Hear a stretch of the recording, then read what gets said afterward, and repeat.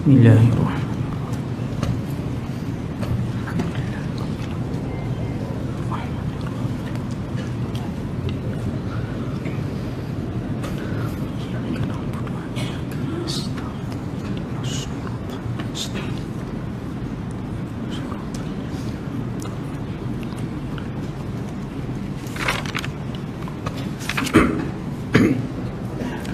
Assalamualaikum warahmatullahi wabarakatuh.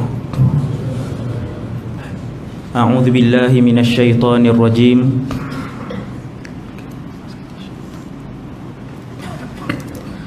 Bismillahirrahmanirrahim.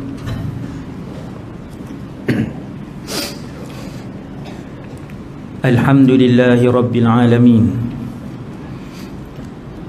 والصلاة والسلام على أشرف الأنبياء والمرسلين.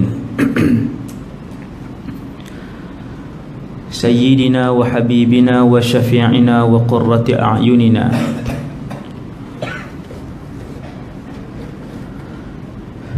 محمد بن عبد الله الأمين.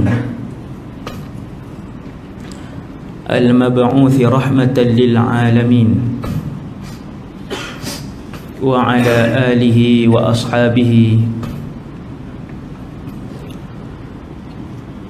ومن تبعهم بإحسان إلى يوم الدين. ولا حول ولا قوة إلا بالله العلي العظيم. ولا حول ولا قوة إلا بالله العلي العظيم. ولا حول ولا قوة إلا بالله العلي العظيم أما بعد رضينا بالله ربا kami رضا الله Tuhan kami وبالإسلام دينا kami رضا Islam cara hidup kami وبمحمد نبيا ورسولا Kami juga reda bahawa Muhammad sallallahu alaihi wasallam seorang nabi dan rasul. Pengurusi majlis, tuan imam, para pegawai, jatan kuasa masjid, seterusnya ibu-ibu, ayah-ayah, muslimin dan muslimat yang dirahmati Allah Subhanahu wa taala sekalian. Syukur kepada Allah Subhanahu wa taala di atas pelbagai nikmat yang masih diteruskan oleh Allah. Antaranya nikmat sentiasa melakukan ibadat kepada Allah Subhanahu wa taala dan kita pohon kepada Allah untuk mematikan saya dan kita semua dalam keadaan husnul khatimah. Amin insyaallah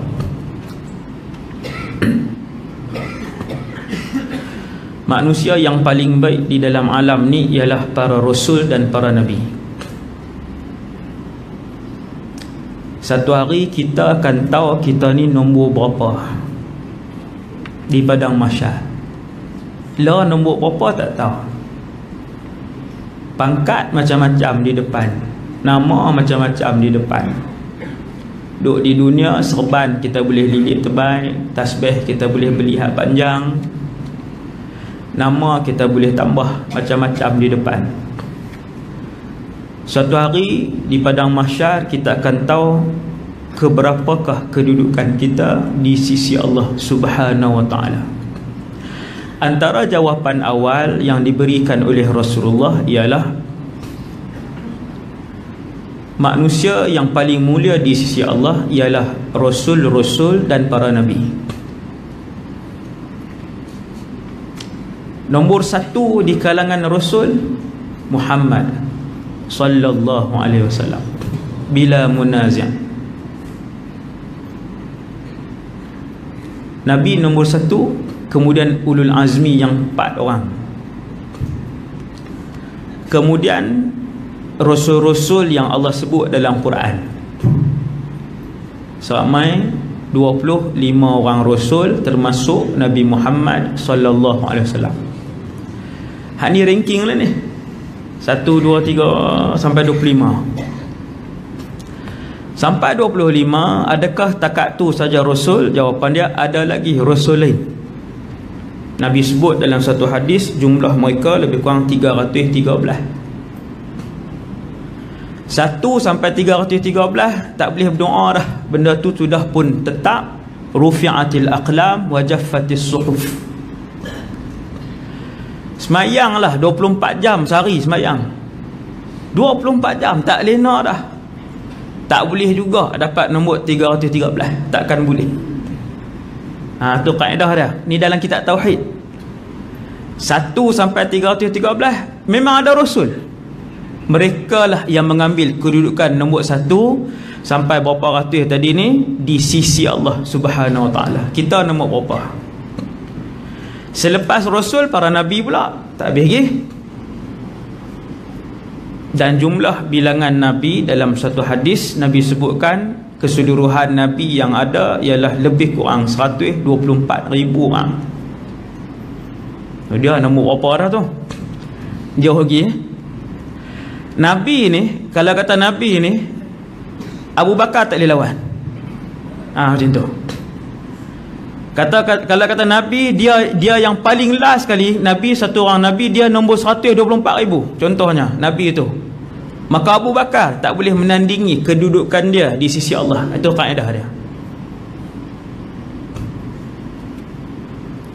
Selepas Nabi barulah manusia berlumba-lumba untuk mengambil kedudukan. Kita kata 124 ribu satu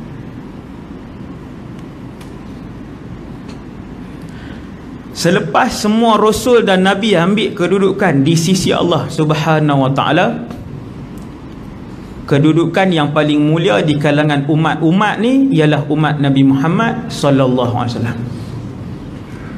Soalan mudah faham kalau kita tanya nombor 124 ribu orang satu. Hak ke 124 ribu satu. Siapa? Jawapan dia Abu Bakar ibn Abi Quhafah. Karena dia adalah umat Nabi Muhammad berdasarkan hadis-hadis yang Nabi sebut mencecah puluhan hadis tentang keutamaan dan kelebihan Abu Bakar. Antaranya seandainya diletakkan iman umat ini di sebelah timbangan dan diletakkan iman Abu Bakar di sebelah timbangan lagi nescaya terlebih beratlah timbangan iman Abu Bakar. Berat dia lagi. Kalau kita semua ni bukan semua ni semua umat Nabi Muhammad. Maka Abu Bakar tidak dapat ditandingi. Sehingga kan Umar bin Al-Khattab yang merupakan pesaing terdekat Sayyidina Abu Bakar. Tiap-tiap sahabat dia ada saingan di antara satu sama lain saingan melakukan ibadat dan kebaikan menuju kepada Allah Subhanahu Wa Taala perlumbaan ini berlaku di kalangan sahabat. Kita boleh buat. Cuma kita gaya nak berlumba jadi jadi merak. Gaya nak berlumba dia jadi riak dia jadi tak ada nak berlumba dia jadi sahabat berlumba dia boleh jaga ikhlas tu maka bila Nabi kata siapa nak nak nak bagi bantuan untuk peperangan tabuk? Abu Bakar tengok Umar Umar tengok Abu Bakar. Tu pakat balik. Tak kata apa pakat balik. Maka mai Abu Bakar dia bagi semua harta dia. Nabi tanya berapa ringgit tinggal? Duit tunai? Abu Bakar kata Aku tinggalkan kepada keluarga aku Allah dan Rasulnya. Boleh buat? Hak sembang pun tak boleh Ni malah ni tabung. Kan bagi semua. Ada 15 3 ringgit je. Abu Bakar bila Nabi tanya kau tinggal berapa duit tunai di rumah? Abu Bakar kata aku tinggalkan kepada ahli keluarga aku Allah dan Rasulnya. Habis ya? nombor satu di kalangan sahabat. Sayyidina Uthman memang dia buat main emas dalam ujubah dia tapi emas dalam rumah banyak lagi. Tu pun banyak dia buat main sebab dia jutawan Abdul Rahman bin Auf bagi banyak tapi di rumah banyak lagi. Abu Bakar buat main semua. Sayyidina Umar bila Nabi tanya Wahai Umar Berapa yang kamu tinggal pada ahli keluargamu? Sayyidina Umar jawab Separuh daripada apa yang aku ada. 200 ribu Aku buat main 100 ribu ringgit Hak tunai yang ada dalam simpanan aku. Bila dia tanya berapa Abu Bakar bagi Sahabat-sahabat lain jawab Abu Bakar bagi ke semua harta tunai yang dia ada. Omar kata sesungguhnya aku tidak pernah mendahuluinya dalam melakukan kebaikan. Dari segi iman. Malam ni andai Omar andai umat ini seperti Omar. Jauh tu. Sebab andai umat kesemuanya dia kalau tajuk andai seorang jadi Omar cukup dah untuk Islam memerintah alam ini andai seorang daripada 2 bilion umat Islam ini adalah Omar seorang je nescaya Islam lah yang memerintah ketika ini kalau semua hmm, kalau semua pakat terbang macam malaikat tu eh. kalau semua Omar pakat terbang Karena Sina Ali kata idza dzukira salihun fahayyahala bi Umar. Kalau sebut orang soleh maka antara nama yang paling tinggi adalah Umar bin Al-Khattab. Simbol orang soleh. Sina Umar. Bila Sina Umar berkhutbah satu hari Duk khutbah elok-elok ni Kemudian dia sebut Ya sariyatul jabal al-jabal dia panggil nama satu orang sahabat nama Sariyah. Naik ke bukit naik ke bukit duk khutbah. Lepas tu dia sambung khutbah. Habis dia turun sifat para sahabat kalau tuan-tuan tengok kitab sirah bila berdepan dengan satu benda yang tidak menepati Islam lah tu juga sahabat akan cakap. Kalau ada satu orang yang boleh himpun duduk dalam satu buku sangat menarik. Saya jumpa adalah dalam buku-buku tak ada nak impun duduk dalam satu buku apabila sahabat berdepan dengan kesalahan. Macam mana sahabat buat? Sahabat ketegak waktu itu juga. Siapa pun yang buat kesalahan tu banyak. Bila saya baca tengok memang segera seketika tu juga. Sebab tu sebahagian mazhab fiqah dia menjadikan perbuatan tindakan para sahabat sebagai dalil. Dalil sokongan kepada kepada suatu hukum. Sebab sahabat tak akan buat benda yang bid'ah dan keluar daripada Islam. Bila semua sahabat buat satu-satu perkara ni, maka yang tu dia boleh jadi sebagai sandaran untuk membentuk hukum kepada sebahagian mazhab. Hmm. Antaranya mazhab Imam Malik, amal ahli Madinah. Tuan-tuan.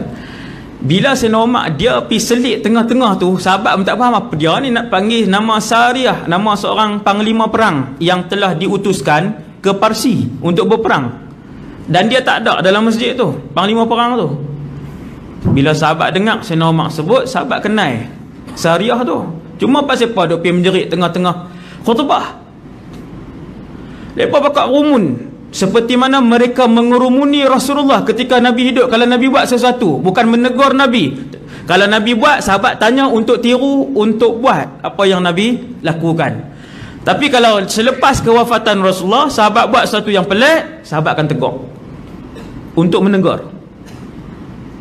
Pakak tanya wahai Amirul Mukminin kenapa menjerit tengah khutbah pakak Masjid Nabawi di Madinah bising habis.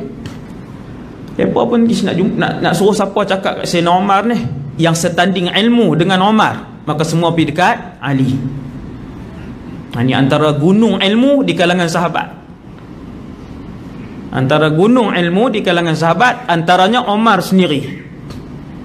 Dia kibarus sahabah fil ilm. Sayyidina Umar antara mufti besar di kalangan sahabat. Mufti besar. Antara mufti besar lagi apa nama ni? Muaz ibn Jabal. Antara mufti besar lagi Abu Bakar ibn Abi Quhafah antaranya Ali ibn Abi Talib. Sahabat-sahabat lain yang yang biasa-biasa ni tetapi tegas. Pakai jumpa Wahai Ali Tegurlah ni saya normal Sebut apa tu Tadi tengah-tengah khutbah dia menjerit. Sayyidina Ali kata Waihakum Jangan duk kalut. Da'u Umar Tinggalkan Umar Biarkan dia. Ni sahabat-sahabat yang tahu kedudukan Umar Fa'innahu ma dakhala fi syai'in illa kharaja minhu. Sayyidina Ali kata sesungguhnya Setiap sesuatu yang masuk maka dia akan keluar perkara yang sama. Maksudnya masuk sesuatu kepada Sayyidina Umar maka benda itulah yang keluar. Ilham daripada Allah subhanahu wa ta'ala. Selepas beberapa ketika beberapa hari baliklah pasukan yang dihantar oleh Sayyidina Umar ke Parsi untuk berperang. Bila balik pasukan yang dipimpin oleh Syariah Ibn Zanim orang pun tanya wahai Syariah ada apa-apa tak yang berlaku di sana? Dia berkata ya ketika kami berperang kumpulan kami sangatlah sedikit.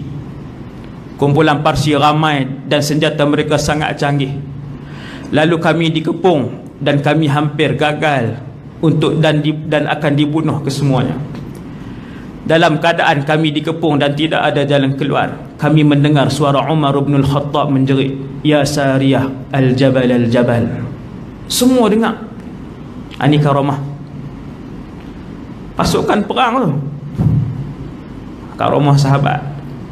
Keseluruhan tentera Islam mendengar suara um, Amirul Mukminin menjerit wahai Sariyah lekas naik ke bukit lekas naik ke tempat yang lebih tinggi untuk selamat maka kami pun naik dan kami semua selamat. Kita nak tahu cerita hak malam ni hak saya sebut tadi bagaimana mereka mendapat kedudukan yang tinggi di sisi Allah sedangkan mereka bukan Nabi dan Rasul. Ha, itu tujuan dia. Pasal apa nak dengar tentang Umar disebabkan dia diberikan jaminan oleh Rasulullah sebagai ahli syurga ketika mana dia belum sakit dan ketika mana dia sihat walafiat. Hidup di atas muka bumi Allah. Duk berjalan lagi. Nabi dah kata dah Umar min ahli jannah. Umar ini ahli syurga. Apa yang dia buat? Apa pengorbanan dia? Bagaimana keyakinan dia kepada Allah subhanahu wa ta'ala? Semua orang tahu cerita Sina Umar masuk Islam. Saya tak sebut dah. No? Dia nak pergi bunuh Nabi. Hari tu dia geram habis dah. Umur waktu tu 27 dia geram habis dah dengan Nabi ni. Dia kata hari ni aku kena bunuh. Muhammad ni tak ada siapa dia boleh terhalang dia. Lagi kita duk seksa orang dia lagi dia duk sebar Islam makin lama makin ramai makin lama makin ramai. Hari ni aku kena bunuh dia kata Umar balik dia ambil baju besi dia asah pedang dia pedang perang pedang yang selalu saya sebut berpuluh-puluh kilogram. Pedang. Dia pun asah sarung baju besi. Bila dia keluar orang pun nampak Omar waktu tu belum Islam pegang sarung besi, baju besi pegang pedang perang.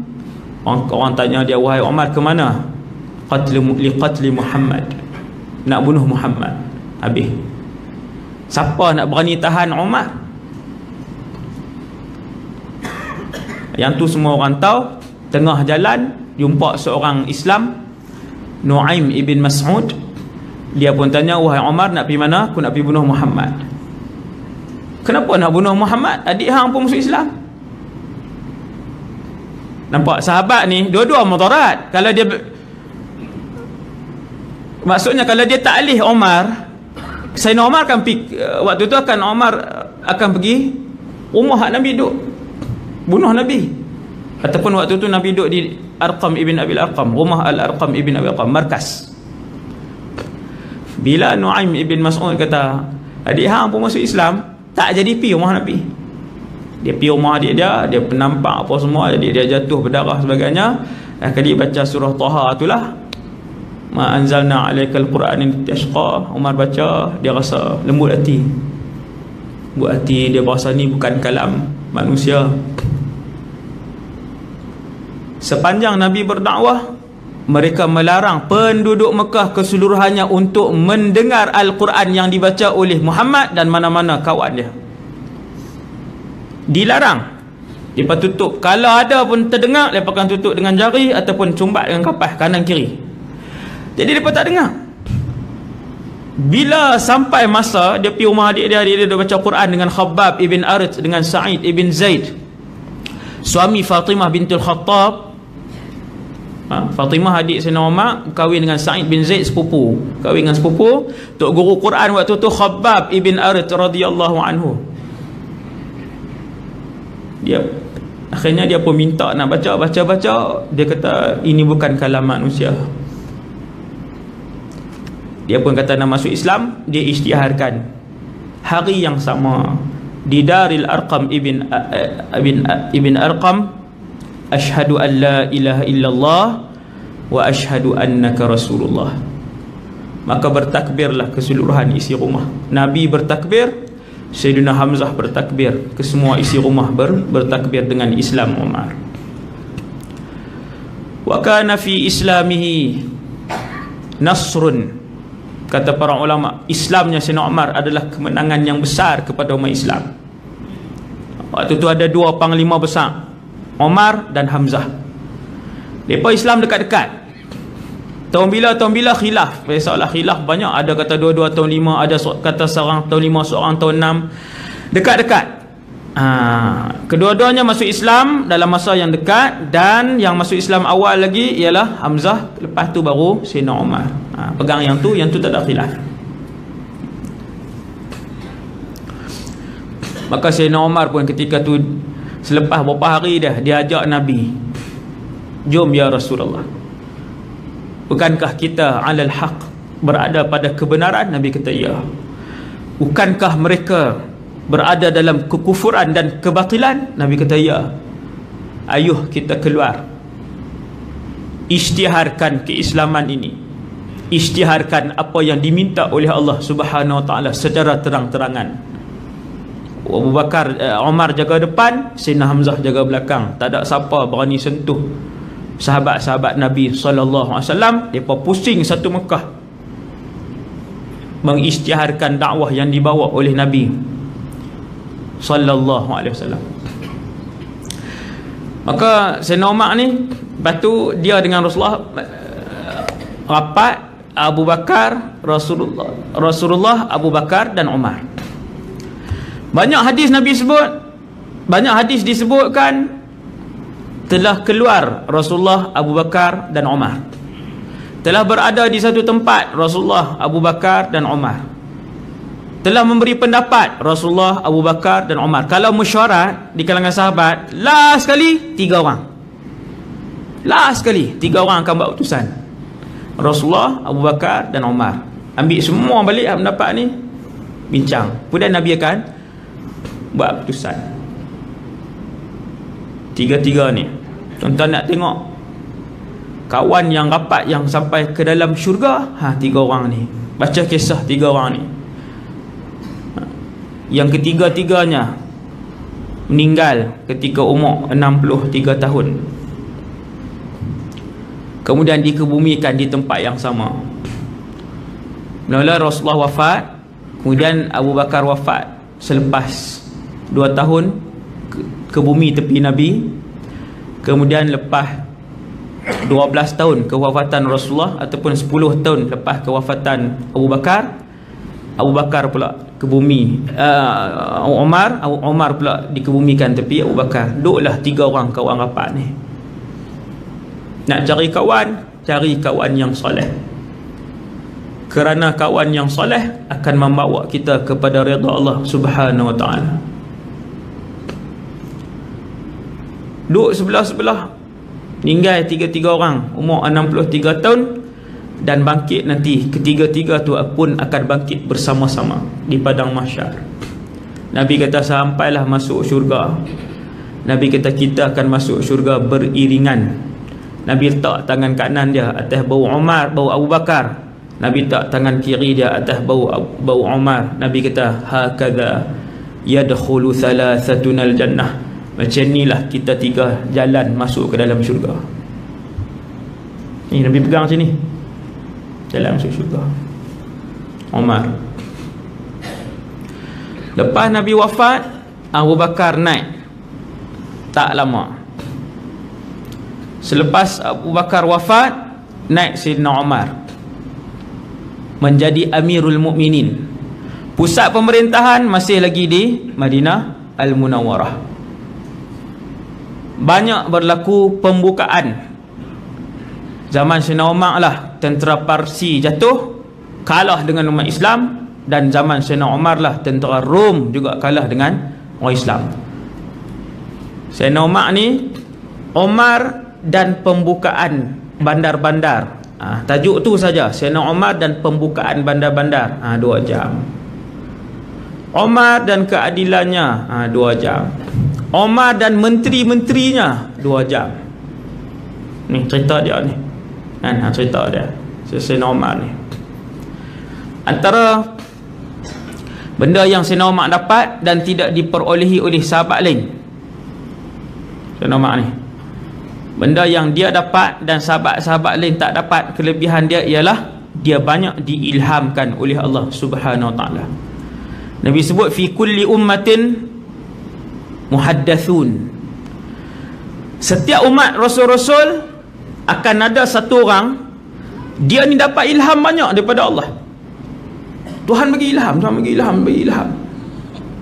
Sehingga kan Nabi kata lau kana ba'di nabiyyun lakana Umar. Kalaulah ada nabi selepas aku, nescaya nabi itu adalah Umar hadis kalaulah ada nabi selepas aku nabi itu adalah Umar. Disebabkan banyaknya dia mendapat ilham daripada Allah.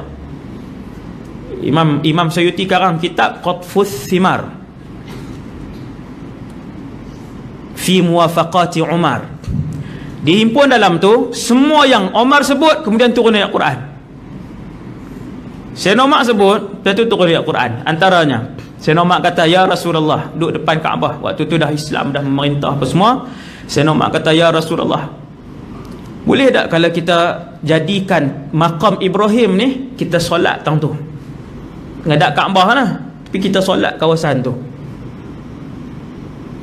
Lepas Sayyidina Umar sebut turun ayat Quran. Wattakhidhu min maqami Ibrahim musalla. Dan ambillah jadikanlah makam Ibrahim itu sebagai tempat solat Bukan jangan tuan-tuan jangan faham Allah Taala tiru Sayyidina Umar pula. Ha tu kalun. Oh Allah tiru banyak Sayyidina Umar ni. Nah abang kata hati Sayyidina Umar ni bersih sehingga kan dia dapat merasai apakah wahyu yang akan turun. Hati bersih dia tak ada ni bila nur melimpah. Bila nur melimpah ni dia tak ada dia tak ada halangan, dia tak ada halang hati itu dengan apa yang nak berlaku. Quran ada lama dah sebelum Sayyidina Umar lahir Quran ada dah. 114 surah tu Allah buat turun siap dah waktu Nabi lahir di langit dunia. 114 surah ready dah.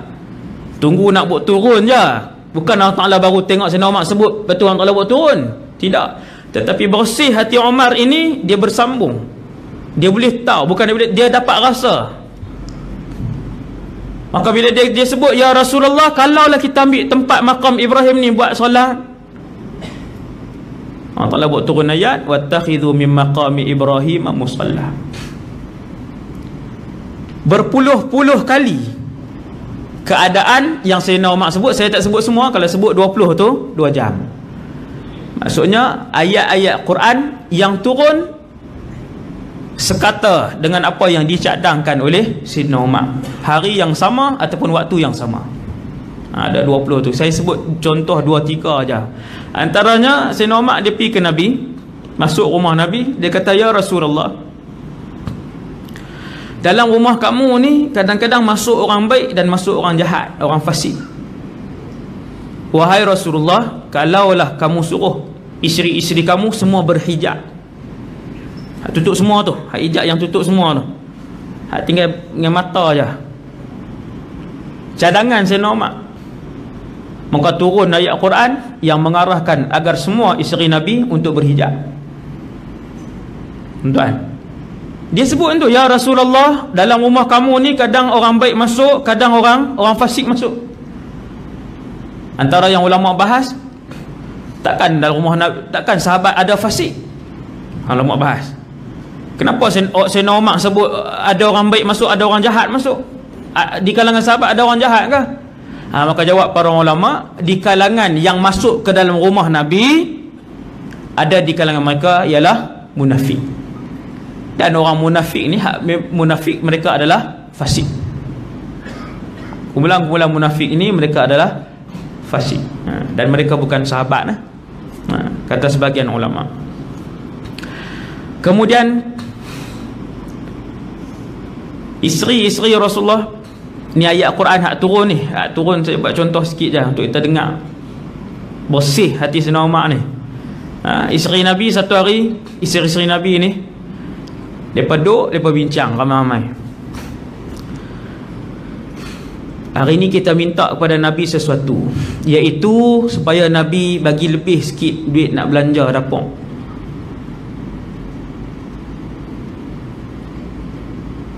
Nabi melatih ahli keluarganya untuk hidup dalam keadaan yang sederhana walaupun emas dan perak hampir setiap bulan dilonggokkan di depan rumah Nabi sallallahu alaihi wasallam Tuan-tuan, kalau sekali longgok, Nabi tak bagi ke orang. Memang benda tu mai bukan untuk Baitul Mal, untuk Rasulullah.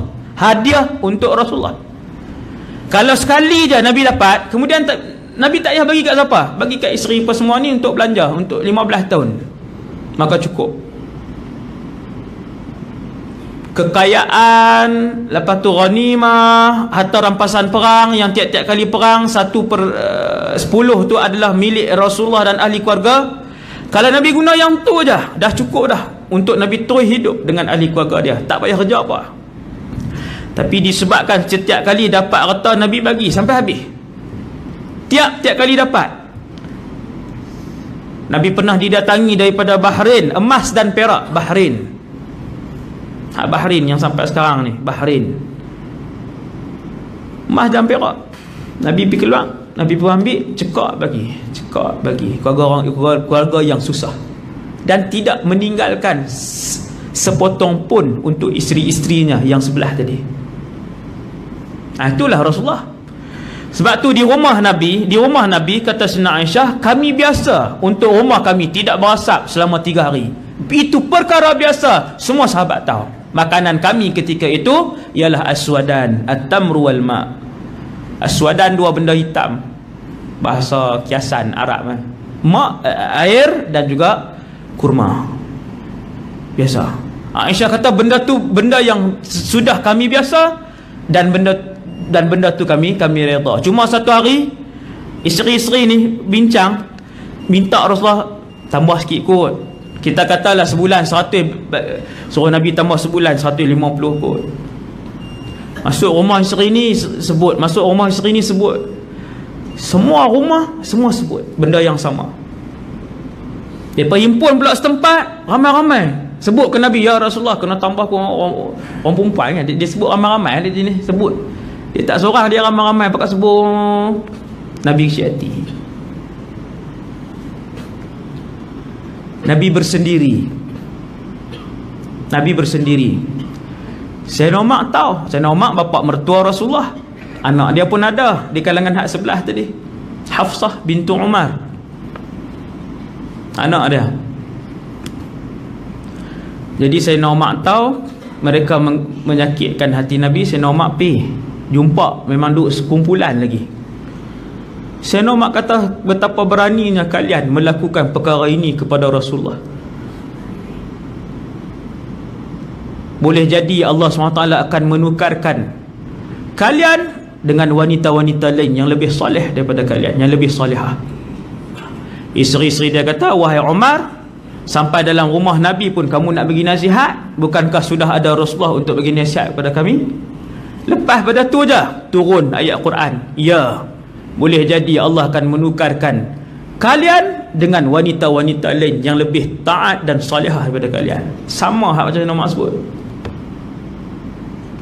Sama macam hak dia sebut tu. Ayat tu memang ada dah tapi hati Senomak ni dia sebut tu sama hak ayat tu. Asa rabbuhu in talaqakunna ayyubdilahu azwajan khairan minkun Allah Ta'ala Allah Ta'ala turun ayat tu juga. Hak mana yang Senomak lafaz ayat tu juga. Cuma tu Allah Ta'ala tambah lagi. Wanita-wanita yang mungkin Allah ganti nanti. Mereka ni ikhlas mereka ni muslimah mereka ni mukminah zikir banyak pahala banyak ibadat banyak. Allah Taala tambah lagi perangai. Sifat isteri-isteri yang akan diganti oleh Allah ha, dengan kumpulan isteri lain kalau kalian bersifat demikian. Kita nak beritahu isteri Nabi bukannya komen banyak pun sikit dia tapi hak sikit itu di sisi Rasulullah dan di sisi keluarga Rasulullah yang mulia dia dikira banyak. No? Ha, bukan komen kata oven tak tak dapat dapat lagi. Kan? Kita periuk banyak dah periuk banyak belanga banyak. Dia duduk tengok oven jiran tu. Microwave microwave. Oven apa oven lama microwave Ni abang ni sampai nak boleh cucu dah microwave tak nampak-nampak gini. Kalau kalau komen condemn microwave isteri Nabi condemn macam mana?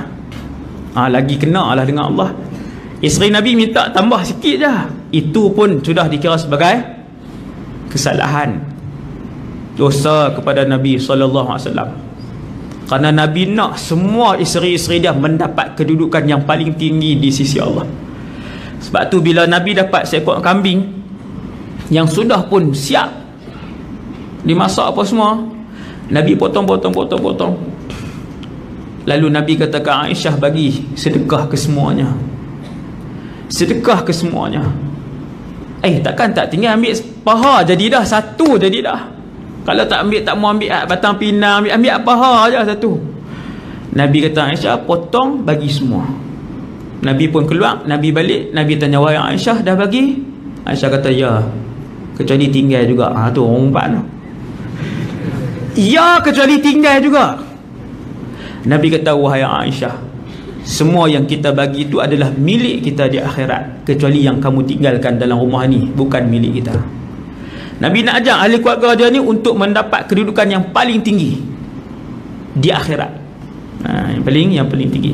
Maka saya normal ni dia pergi tegur. Sampai isteri ni ni dia pergi tegur. Sebab dalam tu ada anak dia. Ha, bila dia tegur turun ayat Quran. Pakat malu habis lah dengan senomak ni memang para sahabat kata kami melihat as-sakinah as-sakinah tuntaqu ala lisan Umar as-sakinah ketenangan itu dilafazkan melalui lis, lisan lidah Sayyidina Umar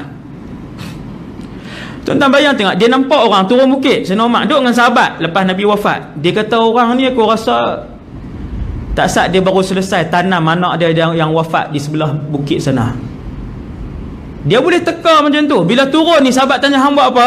Aku baru habis selesai tanam anak aku yang wafat. Bukan magic ni. Ni bukan black magic. Ni karamah. Macam tu je. Aina Umar ni dia teka hari-hari ni macam tu je. Kalau dia cakap sekian-sekian macam ni.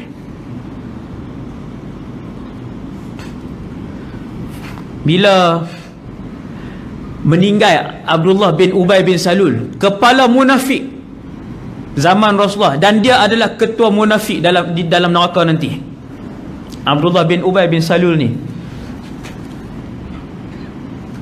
dia yang pernah sebarkan berita palsu propaganda kata isteri Nabi berzina dengan Safwan ibn Mu'attal. Wal'ayadzubillah dia dia yang sebarkan. Dia tak tuduh dia tak kata dia kan semua dia sebar. Dia pi ke orang merata dia kata ish ni Safwan balik bawa uh, Aisyah naik unta ni. Takkan tak buat apa? Ha, ayat tu. Ayat orang jahat. Lepas tu buat status. Ah, lagi petang wonat lagi status benda tu juga. Betapa banyak hak berlaku hari ni. Kan? Dia ni lah Abdullah bin Ubay bin Salul. Macam-macam. Dia panggil Nabi dengan panggilan sekian dia merancang untuk membunuh Rasulullah. Satu hari dia dia meninggal. Anak dia Islam. Dia nama Abdullah bin Ubay. Anak dia nama Abdullah juga. Maka Abdullah bin Abdullah bin Ubay hak Islam radhiyallahu anhu. Islam mukmin khalis. Bila dia meninggal anak dia tahu tak pak ni ketua munafik? Anak tahu. Tetapi anak tetap anak. Dan ayah tetap ayah. Perasaan sayang ayah siapa tak sayang sebab tu bila anak Abu Jahal masuk Islam Abu Jahal Fir'aun umat ini anak dia masuk Islam. Nabi kata sekejap lagi Ikrimah akan sampai. Dia akan mengiklankan keislamannya janganlah kalian sakiti hatinya dengan mencerca dan mengeji ayahnya. Sebab dia anak dia tetap anak. Dia tetap ada perasaan sayang. Walaupun ayah dia memang ahli neraka. Abu Jahal memang ahli neraka. Abdullah bin Ubay bin Salul memang ahli neraka. Tetapi anak dia Abdullah tetap ada perasaan sebagai seorang anak yang menyayangi ayah dia. Ayah dia mati. Dia pergi rumah Nabi. Ya Rasulullah kalau kamu tak berat boleh tak bagi jubah kamu untuk aku kafankan Abdullah bin Ubay bin Salul ayah aku? Tuan-tuan ni hak buat ke Nabi ni? Hak buat ke Nabi teruk ni? Nabi nak bagi tak? Maka Nabi pun pergi ambil jubah dia. Nabi bagi. Kata para sahabat kerana Abdullah bin Ubay bin Salul pernah menghadiahkan sebuah jubah baru kepada salah seorang bapa saudara Nabi wasallam. Dikenang bintang tu. Bukan bagi ke dia bukan bagi kepada Rasulullah. Bagi kat buat menekan maka Nabi tengok orang-orang memuliakan bapa saudara dia Nabi seronok. Nabi ambil jubah dia bagikan Abdullah bin Abdullah bin Ubay. Balut jenazah ayah dia. Abdullah pi pula Abdullah bin Abdullah pi pula Umar Nabi Ya Rasulullah jom solat kepada ayahku. Ha atang ni. Nak suruh semayang kat kepala munafik. Yang Allah larang Nabi sifat Rasulullah. Nabi dia tak pernah berdendam dengan manusia. Nak simpan lama-lama tak ada. Nabi pi. Bila dengar kata Nabi nak pi semayang Sayyidina Umar pun mai. Nabi pun berdiri sampai depan jenazah. Sayyidina Umar daripada Nabi nak masuk tu Sayyidina Umar kata Ya Rasulullah bukankah dia yang melakukan sekian-sekian kepada kamu? Nabi tetap berjalan sampailah Nabi duduk berjalan Sayyidina Umar duduk ikut ni. Ya Rasulullah bukankah Allah melarang kamu? Nabi berdiri depan jenazah. Sayyidina Umar dia berdiri depan Nabi. Ha, ni, ni cengih ni. Cengih sungguh. Dia berdiri depan Nabi. Jenazah duduk tak mana? Duduk belakang dia. Dia kata Ya Rasulullah Allah tidak mengizinkan kamu. Wahai Umar Ana Rasulullah. Wahai Umar Aku pesuruh Allah Dah kawan tu berdiri. Nabi nak buat macam nak pun menampang Nabi kira Nabi kata Wahai Umar Aku pesuruh Allah. Allah bagi pilihan kepada aku. Sama ada kamu istighfar kepada mereka wahai Muhammad ataupun kamu tidak beristighfar. Wahai Umar aku memilih untuk beristighfar lebih daripada 70 kali kepada mereka. Hati rahmat ni. Oi dia tuduh nabi ni. Tuan baca Abdullah bin Ubay ni hak dia buat onak ke nabi ni. Dahsyat-dahsyat punya nak bunuh nabi semua dia. Tapi nabi tetap memilih untuk beristighfar kepadanya turun waktu tu. Ayat Allah SWT tegur Nabi SAW wala tusalli ala ahadin minhum mata abada. Wahai Muhammad jangan sekali-kali kamu sembahyang kepada mereka ni. Wala taqum ala qabri nah, ayat selepas tu macam mana tau nah wala tusalli ala ahadin minhum mata abada kemudian Allah tambah lagi mengkafankan dia pun tak boleh Jangan kamu buat wahai, wahai Muhammad dan me, me, mengkebumikan dia pun tak boleh. Maksudnya Allah larang daripada Nabi buat. Sama hak macam yang disebutkan oleh Sayyidina Umar. Kemudian bila berlaku hak, hak tuduhan tuduhan zina tadi ni. Saya tak mau sebut kisah dia jadi panjang. Nabi balik perang sebut juga. Kan? Ha, Nabi balik perang, kemudian Sayyidina Aisyah duduk dalam dalam tu haudash tu haudash tu ha, tuan-tuan tengok orang, orang bawa tu lah empat orang bawa tu kan apa tu ada macam kemah tengah tu ha, tu orang haudash Aisyah ni dia ringan Sayyidatuna Aisyah radhiyallahu anha dia ringan dia duduk dalam tu dalam perjalanan nak balik pergi Madinah Nabi berhenti saat Sayyidina Aisyah pergi qadha hajat. Kemudian dia patah balik mai ni hilang. Pantai hilang dia pergi cari balik. Orang nampak dah Sayyidina Aisyah Masuk Orang tak perasan Dia keluar balik Kali kedua. Nabi pun kata bergerak Semua bangkit Jalan Pi Yang senang Syah duk cari di padang pasir. Duk cari. Kemudian Apa nama ni Nabi ni Nabi akan uh, Setiap perang Ataupun musafir Nabi akan uh, Apa nama ni uh, uh, Arahkan Tugaskan seorang Tengok benda apa tertinggal Kalau ada barang Ini Rasulullah Waktu tu yang bertugas Safwan ibn Mu'attar radhiyallahu anhu. Dia pun patah balik apa semua tengok ada seorang wanita dan dia pernah melihat Sayyidatina Aisyah sebelum ayat hijab, ayat yang mewajibkan hijab turun, dia kenal Sayyidatina Aisyah. Tak sembang apa.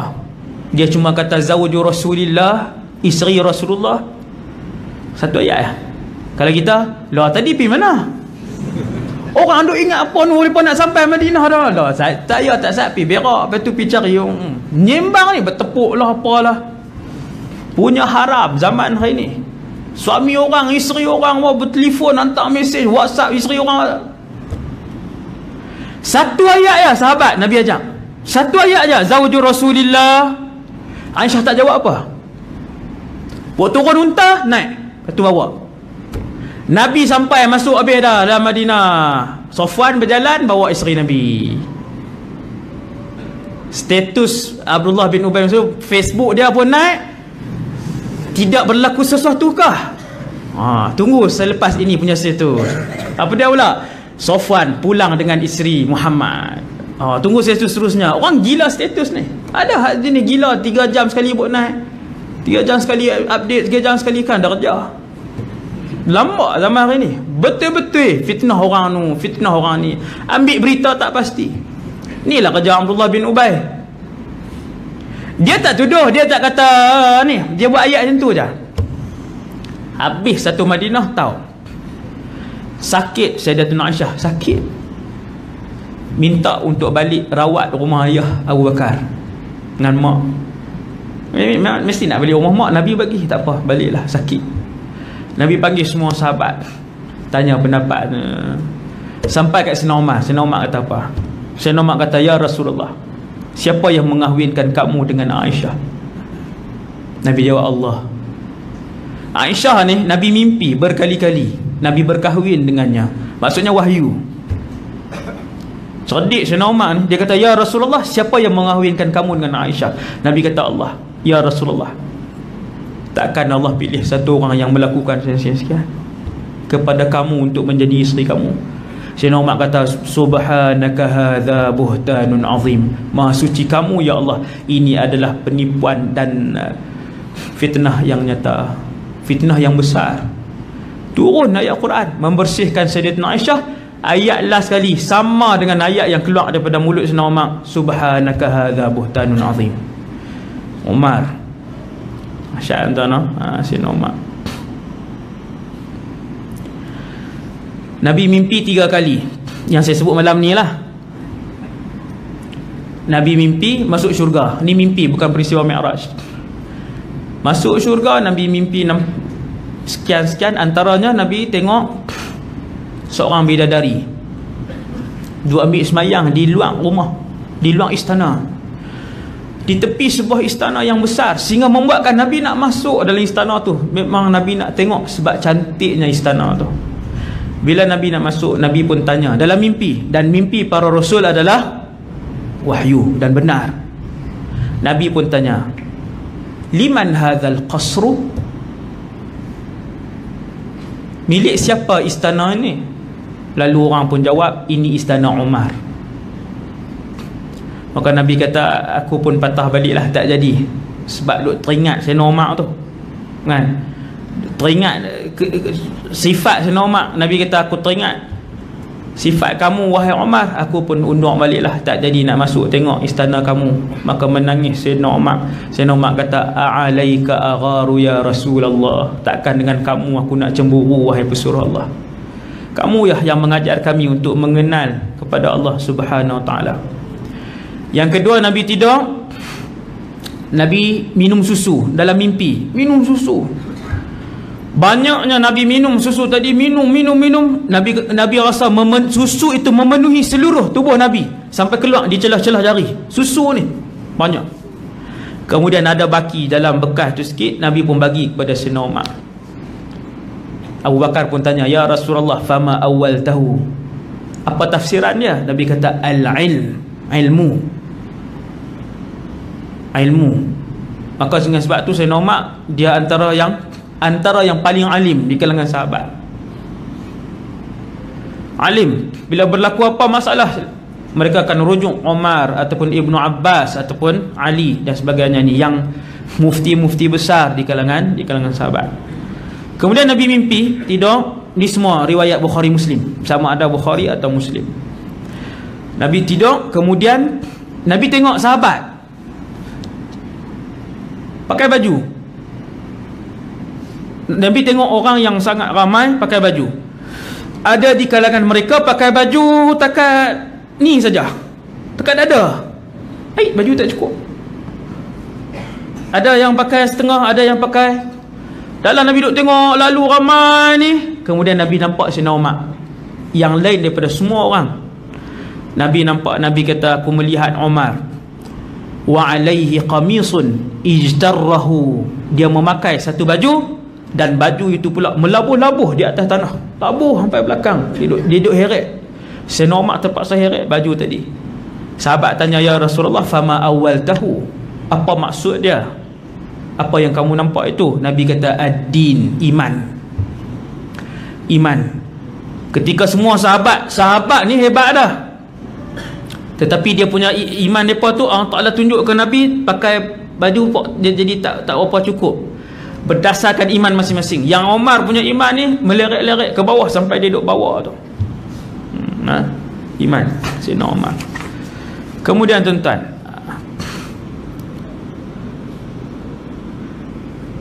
Sayyidina Omar dia hantar menteri dia seorang menteri dia. Saya ambil sikit dia saya kisah menteri dia.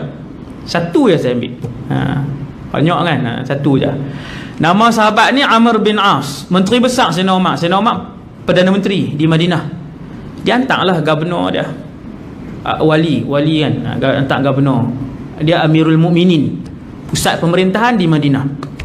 Antara sahabat yang dihantar ialah Amr ibn As masyhurlah Amr ibn As ni pergi ke Mesir terkenal lah Mesir ni dengan bilangan orang Islam yang ramai waktu tu sebagainya di Mesir ada sungai Nil sampai satu tahun Sungai Nil berhenti. Setiap tahun Sungai Nil akan berhenti. Bila Sungai Nil berhenti, Gubernur yang Sayyidina Umar hantar ni, Sayyidina Amr bin As, dia pun tengok orang-orang Mesir siapkan seorang anak dara yang sangat cantik dengan pakaian yang mewah, penuh dengan perhiasan emas perak di badan. Lalu Amr bin As tanya, untuk apa ni? Mereka orang Mesir pun jawab Tiap-tiap tahun sungai Nil akan berhenti Sungai hak terpanjang di dunia tuan-tuan Tuan-tuan pergi tengok kapal pun ada kan? Saya pergi dah Alhamdulillah tahun lepas Allah Ta'ala bagi peluang Naik kapal sebagainya Buaya lah. Ada kawasan ada buaya Ada kawasan Sungai ni Sungai terpanjang. Sebab tu orang Mesir 70% tanah dia adalah kosong. Padang pasir. 30% orang Mesir Semua duduk sepanjang sungai Nil Tanah Mesir yang lain kosong. Kecuali satu tempat lagi nama apa? Fayyum kot. Tak silap saya. Ada satu tempat tu yang tempat Nabi Yusuf tu. Fayyum. Masih tu ada ayam. Yang lain semua duduk di sepanjang sungai Nil. Bila sungai tu berhenti mereka pun nak korbankan seorang wanita syaitan ni tuan-tuan yang paling dia seronok sekali ialah apabila bunuh seseorang manusia untuk dipersembahkan pada dia. Yang tu yang dia paling seronok. Ha, kalau berlaku perang ha, lagi syaitan suka.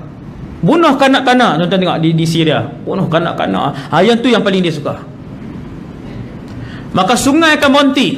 Kalau tak bagi tak buat majlis ni majlis serahkan korban maka sungai akan terus surut surut surut surut tak berjalan maka Amr bin As kata jangan. Kerana Islam melarang untuk kita memuja syaitan dan iblis. Maka tak buat. Sungai berhenti. Hari kedua berhenti. Lepas sebulan berhenti lepas turun turun turun sungai yang yang sungai paling panjang di dunia tuan akhirnya surut sampai nak ranak ke bawah. Sungai tadi sampai nak surut. Sayyidina Amr bin As sahabat dia tak ada jalan. Hantar surat pergi Madinah. Ha, aku nak buat turun apa peruntukan tambahan. Pusat kan? 2 bilion ke apa ke berapa ni nak buat. Ayat baru ni buat paip kan? Hantar surat. Sayyidina Umar pun tulis balik surat. Dia pun jawab balik. Dia kata surat yang aku tulis ni baling ke dalam sungai Nil. Amr bin As pun buka. Baling surat masuk dalam sungai. Dia pun buka daripada hamba Allah Umar kepada sungai Nil. Wahai sungai sekiranya kamu bergerak dengan kudrat kamu sendiri maka berhentilah kamu selama-lamanya. Dan sekiranya kamu mengalir dengan kudrat dan kekuasaan Allah maka bergeraklah sekarang ini juga. Sayyidina Amr bin As tengok surat tu. Nak balik tak tuan Hai macam mana ni? Nak baling kah? Ya orang kata gila pula. Kan? Baling surat. Sayyidina Umar bagi surat. Ini Umar lipat balik baling dalam sungai Nil. Bangun esok pagi sungai ni telah pun naik 16 hasta ke atas. 16 hasta naik. Sehari lah. Naik. Lepas tu naik terus naik terus naik dan terus berjalan. Maka habislah sumpahan tu dengan karamah daripada daripada Umar rumah terbakar di Madinah. Terbakar rumah bukan macam kita ada paip bomba di luar. Kan walaupun orang parking dekat paip tu. Hak kereta mana tu berasa pilah kan. Apa kat paip tu. Jadi Madinah nak ambil ayak bukan senang nak kena pergi ambil ayak bersih. Ayak bersih tak ada di, di rumah-rumah. Dia kena pergi ambil. Lepas tu baru umai. Elok yang hak, ni duduk tengah terbakar ni. Mereka panggil Sayyidina Umar Sayyidina Umar tulis tiga perkataan je. Empat perkataan. Ya nar, wahai api Uskuni biiznillah Tenanglah kamu dengan izin Allah. Tulis atas kertas tu eh. Tulis dia, dia duduk di ni. Tulis, tulis, tulis lagi. Bagi ke api tu. Ambil surat tu Empat perkataan tu bagi ke api. Maka api pun padam. Bu, gempa bumi di Madinah. Berlaku gempa bumi Madinah. Orang cari siapa? Cari Sayyidina Umar panggil Amirul Mukminin wahai Perdana Menteri wahai Perdana Menteri. Keluar Amirul Mukminin ini bergegang Sayyidina Umar pun Alhamdulillah. Wassalatu wassalamu ala Rasulillah. Dia pun berkhutbah. Bumi tu tak berhenti lagi. Dia ambil tongkat dia dia ketuk. Atas bumi Madinah tu dia ketuk. Dia kata qarri Berhentilah kamu daripada bergegar Alam a'adil alaik? Bukankah aku telah berlaku adil dalam pemerintahan aku? Fastaqarratil ard min waqtiha. Waktu itu juga bumi Madinah berhenti. Sebab yang ketuk tu seorang pemimpin yang Yang adil. Kalau orang lain buat salah Maka hukuman dia macam mana yang Nabi tetapkan. Tapi kalau ahli keluarga dia buat salah Double. Hari ini terbalik hmm, tak payah sebut lah kan? Ha, kalau orang lain buat salah okay, laksanakan hukuman. Kalau ahli keluarga buat ha, yang tu jangan. Simpan elok-elok. Terbalik. Sena zaman pemerintahan dia kalau ahli keluarga dia buat salah dua kali. Anak dia seorang. Nama Abdul Rahman ibn Al-Khattab. 10 minit lagi habis insyaAllah. Ha.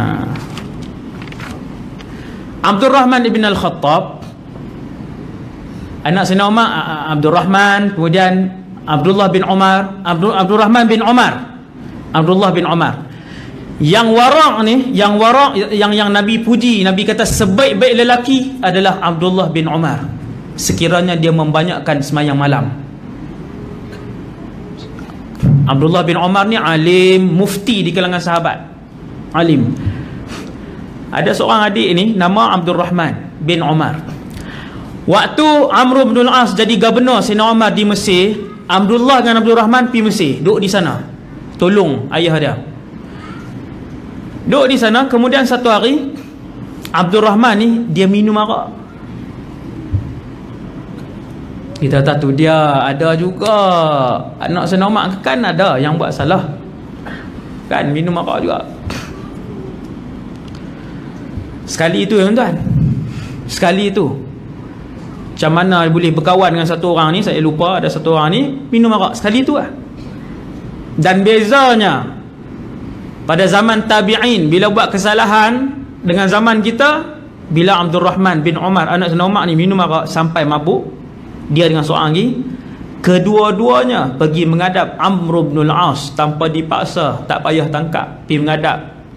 Wahai Amr bin Al-As kami melakukan kesalahan sebablah kami Nampak?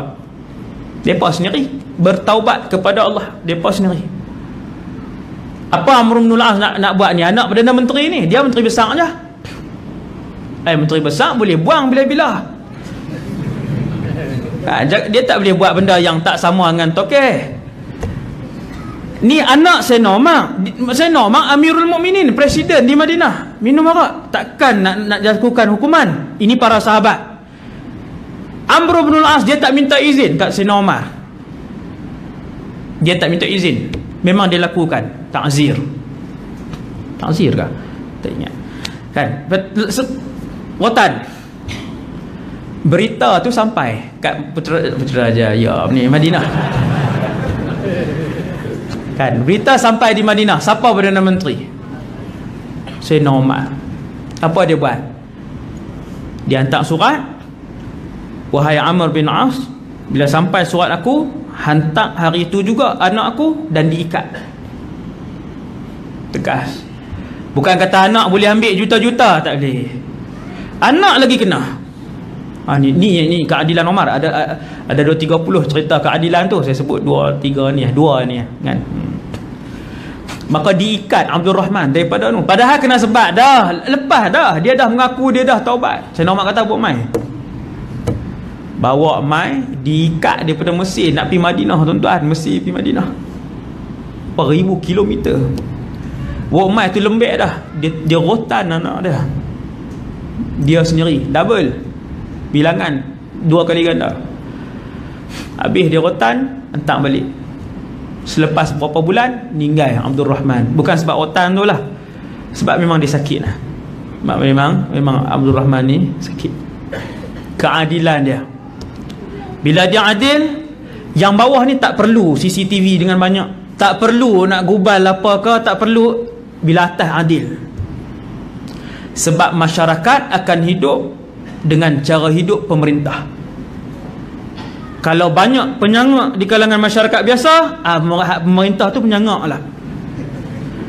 Kalau banyak jenayah yang dibuat oleh masyarakat biasa ah, penjenayah lah yang ramai yang memerintah tu.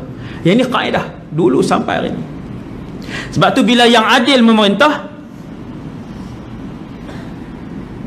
cucu perempuan dengan tok nega susu Tok kata kan cepat cepat cepat. Ha ni ambil ayak, ambil ayak setimba campur sat dengan susu ni. Hak cucu kata Tok tak pernah dengar ke Amirul Mukminin Umar telah melarang kita semua untuk mencampurkan air dengan susu. Tok tu kata fa'aina Umar hatta yarana. Dia kata cek ada senang umat kalau rumah ni? Dia nak tengok kita buat benda ni. Cucu tu kata kalaulah Umar tak tengok fa aina rabbu Umar. Di mana Tuhan Umar? Zaman tu keadilan memenuhi setiap ruang kawasan pemerintahan Umar. Tak boleh dalam rumah mana pun ketika pemerintah tertinggi seorang yang adil. Zaman Sayyidina Umar Sayyidina Umar anak dia pun bantu Sayyidina Umar anak dia nama Abdullah bantu pi. Tengok macam mana keamanan yang di di di kampung-kampung macam mana. Pi sampai ke kampung di pedalaman padang pasir masuk ke pedalaman nampak seorang hamba abdi duk jaga kambing ribu-ribu ekor saya pernah tengok Arab belah kambing tuan. Penuh bukit tu. Saya tak tahulah berapa ribu ekor. Hak ni tuan kalau serigala makan 2 3 ekor nampak tak kurang? Tak nampak kurang. Abdullah bin Omar dia pi dekat Amba Abdi hak jaga ribu-ribu ekor ni. Dia kata boleh tak jual sekor? Ni nak nak pergi 600 ni? Boleh tak jual, jual sekor? Pergi 600 dia kata wahai Abdullah ana mamlukun mu'taman aku ialah hamba abdi yang diberikan amanah. Abdullah nak uji bukan Allah nak ambil. Dia nak uji. Nak tengok ayah dia suruh cek maka Abdullah kata bagi tahu kat, kat tuan kamu. Serigala makan sekok. Kan susah. Serigala makan sekok. Aku boleh jawab kepada tuan aku serigala makan sekok. Wa madza aqulu lillah. Tapi depan Allah aku nak jawab apa? Hamba Abdi ni kata. Zaman Umar yang terakhir tuan-tuan. Yang terakhir sekali untuk malam ni. Tuan Ari Sina Umar dia duduk dengan dengan sahabat-sahabat. Duduk dengan sahabat bincang ke apa ke wallahu alam. Ramailah sahabat. Kemudian daripada jauh nampak dua orang pemuda duduk cekak baju satu orang ni cekak baju tu duduk, duduk buat mai. Bawa heret heret heret heret sampailah ke depan Sayyidina Umar Sayyidina Umar pun tanya kenapa kamu berdua heret laki ni? Ya Amirul Mukminin, wahai Amirul Mukminin, lelaki ini telah membunuh ayah kami. Ha, bunuh. wa nahnu nuridul qisas. Kami nak qisas bunuh balas. Yang dituduh ada depan yang menuduh pun ada depan. Saya nak tanya terus ahaqqan qatalta abahum? Benarkah kamu bunuh ayah mereka? Macam mana orang zaman tu nak jawab apa? Bagi masa nak ambil peguam kah? Macam mana? Maka jawab lelaki tadi Naam Ya Saya bunuh ayah mereka. Saya mak tak pancung terus Dia tanya Walima Ya akhal Arab? Kenapa kamu bunuh ayah mereka Wahai pemuda. Kau jawab lelaki ni Ayah mereka buat masuk unta Dalam ladang kami Dalam ladang saya. Di tengah pada pasir tu Masuk unta. Bila unta ni masuk unta Dia pergi makan lah. Unta ni pergi makan Makan makan. Hak lelaki ni kata aku pun larang Ayah dia buat keluar Ayah dia buat teheran Maka aku pun baling batu Kena pala. Allah takdir mati. Saya normal kata apa? Al-qisas. Bunuh balas An-nafsu bin nafs Nyawa dengan nyawa Kena bunuh balas Sepatutnya Minta ganti rugi je Ganti rugi berapa ganti rugi? Berapa banyak buah yang dimakan, berapa banyak pokok yang tak boleh hidup balik dipijak, ganti rugi. Kenapa pergi bunuh dia baling batu? Kena kisah.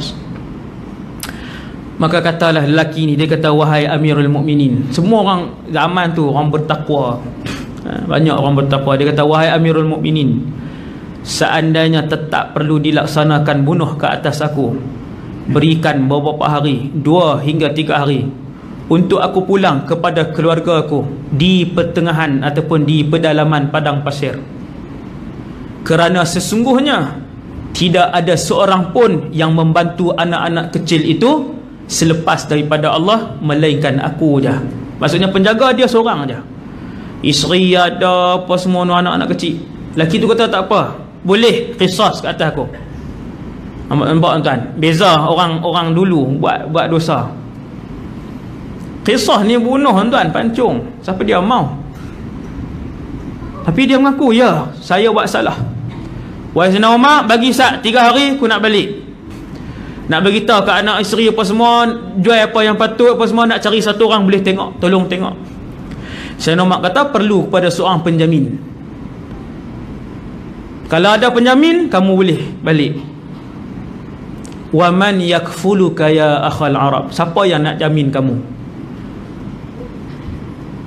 Muslim tadi ni laki-laki yang nak dibunuh di kisah tadi dia pun tengok sahabat. Ada sahabat kan? Ada berapa puluh orang tentu dia tengok seorang seorang sahabat. Ku ada sahabat nak angkat tangan. Tak apa saya menjamin dia.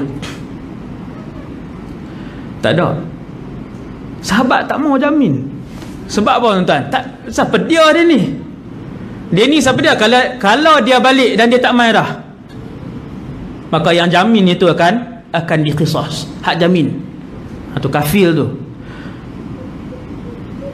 Maka Sayyidina Umar tanya dia lagi wahai wahai pemuda siapa nak jamin kamu? Sakata sahabatu jami'an. Semua diam. Maka pemuda ni tengok dengan penuh sayu. Dia tengok seorang seorang muka sahabat siapa tak angkat Sayyidina Umar dah mula kesian tengok kesian lelaki ni. Tapi takkan dia kata tak apa aku jamin. Tak boleh dia Perdana Menteri. Kecuali lah Perdana Menteri di sebuah-sebuah tempat tu. Dia yang jamin kan? Subhanallah. Bila tak ada siapa dah dua kali dah Saya Umar tanya tak ada siapa nak jamin lelaki ni Untuk dia balik dua tiga hari? Saya Umar pun tengok kepada dua pemuda tadi Waris. Waris anak tadi ni Ata'afuani anhu liwajhillah Boleh tak waris? Dua orang ni ampunkan dia. Waris boleh ampunkan. Waris boleh ampunkan dan ambil dia Satu ekor unta. Boleh? Maka waris tuan-tuan waktu tu Hari tu ayah meninggal. Nak nak ampunkan? Eh tak. Dia kata tak. Nuridul qisas. Kami nak qisas. Maka Sayyidina Umar pun tanya buat kali yang terakhir Ada tak di kalangan kalian Yang nak jadi penjamin kepada lelaki ni? Tunduk lelaki ni Tunduk Muhung ke tak tak tahu. Maka bangun satu orang sahabat Abu Dhar Al-Ghifari radhiyallahu anhu. Dia bangun dia kata ana kafiluhu ya amirul mukminin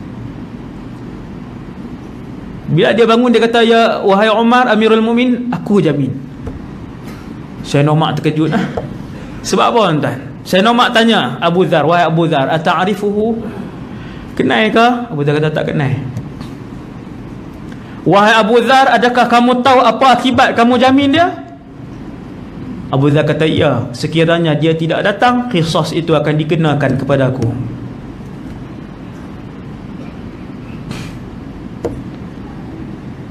Maka Abu Dhar pun jamin dia. Laki ni pun balik. Sayyidina Umar pun balik Abu Dhar pun balik dua waris tadi pun balik semua orang bersurai. Baliklah laki tadi Sayyidina Umar kata tiga hari dua atau tiga hari datang sebelum matahari terbenam. Maghrib maka berlalulah satu hari. Tak mai. Dia boleh mai hari pertama dia boleh mai. Laki badui tadi tak mai. Arab Badui je Arab pada pasang tengah pada pasang Arab Badui Arabi. Dalam hadis ni sebut Arabi ni Badui. Hari kedua habis Badui ni tak mai. Hari ketiga habis hari ketiga masuk asam. Orang pun azan kemudian habis mayang asam semua orang tunggu. Saya Umar pun pergi tempat tu tempat memutuskan hukuman nak di nak di tempat nak menjatuhkan hukuman. Di situ nak pancung. Abu Zar pun pi dua waris pun pi Sayyidina Umar pun pi di situ orang ramai pun mula berimpun tunggu. Asak dengan maghrib tuan kat lama mana kan? Duk cicah teo lah apa sikit. Ambil lima. Masa pun berlalu. Umar duk perhati. Dia duk Umar ni dah ada duk gencang dah ni. Sahabat-sahabat lain pun duk gencang dah dah pasal apa? Lima setengah tak mai enam tak mai enam setengah tak mai kalau bahasa kita lah. Enam setengah tak mai tujuh tak mai muka sinomak semua akan duduk tengok dah. Sebab seorang sahabat Rasulullah yang tak bersalah hukuman tetap hukuman. Akan dijatuhkan hukuman. Dia akan dipancung Abu Dhar. Abu Dhar kata kat Sinomak aku menjamin dia kerana aku melihat kebenaran pada wajahnya. Sahabat lain tak kata apa. Sampai pukul tujuh Kita katalah sampai Tujuh lah maghrib berapa? Tujuh dua puluh Sampailah tujuh enam belas. Oh kira dekat-dekat dah tu. Tak main lagi. Abu, Saya Umar kata Wahai Abu Dhar. Kamu tahu apa yang perlu dilakukan. Kencung lah Masuk tujuh dua puluh Matahari pun terbenam. Lalu mereka mendengar suara badui tak sah daripada atas bukit tu. Ha anadha ha anadha. Ni dia aku mai, ni dia aku mai. Daripada jauh tu dia menjerit dah. Dia tahu kalau dia tak mai Abu Dhar. Penuh. Bila dia sampai dekat, Omar tanya dia wahai badui. Kalau kamu tak mai pun tak ada siapa nak pergi cari kamu. Kami pun tak tahu hang duk mana. Maka badui ni jawab wallahi ma alayya min Umar. Aku tak pernah berhutang dengan Umar aku tak pernah berhutang dengan orang ramai walakin alayya minal ladhi ya'lamu sirra wa akhfa tetapi aku berhutang dengan Tuhan iaitulah Allah yang mengetahui secara segala rahsia dan benda yang tersembunyi. Sebab iman.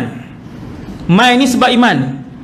Wa wallahi ya amirul mu'minin. Demi Allah wahai amirul mu'minin aku datang dan dalam keadaan meninggalkan ahli keluargaku yang masih masih kecil. Tidak ada siapa yang menjaga mereka kecuali lah Allah. Dan aku datang semata-mata untuk dilaksanakan hukuman Allah ini ke atas aku.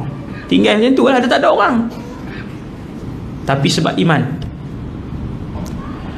Eh, dengar lagi tu cakap si Umar merambung habis dah ni. Fatahaddaratid dumu'u ala lihyati Umar. Oh ayat ayat ayat mata penuh ni Sayyidina Umar. Teriak sahabat semua teriak sahabat. Semua jenis-jenis tu lah.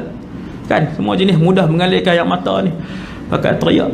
Ke Sayyidina Umar pun kalih kat waris tadi adakah sampai sekarang kamu berdua tidak ampunkan dia?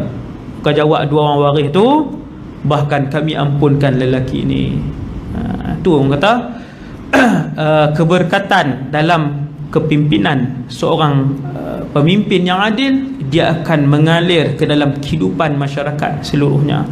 Walhamdulillahirabbil alamin. Yang baik daripada Allah yang lemah dan kurang daripada diri saya sendiri. Aku lu qali hadza astaghfirullahal azim li wa lakum subhanakallahumma wa bihamdik asyhadu an la ilaha illa anta astaghfiruka wa atubu ilaik bismillahirrahmanirrahim. Innal insana lafi khusrin illa alladhina amanu wa amilus solihat wa tawassaw bil haqq. Bismillahirrahmanirrahim. Alhamdulillahirabbil alamin.